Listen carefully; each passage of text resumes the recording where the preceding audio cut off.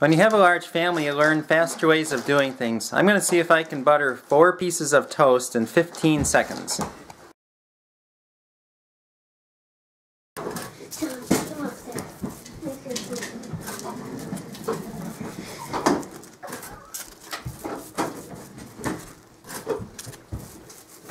Thank you.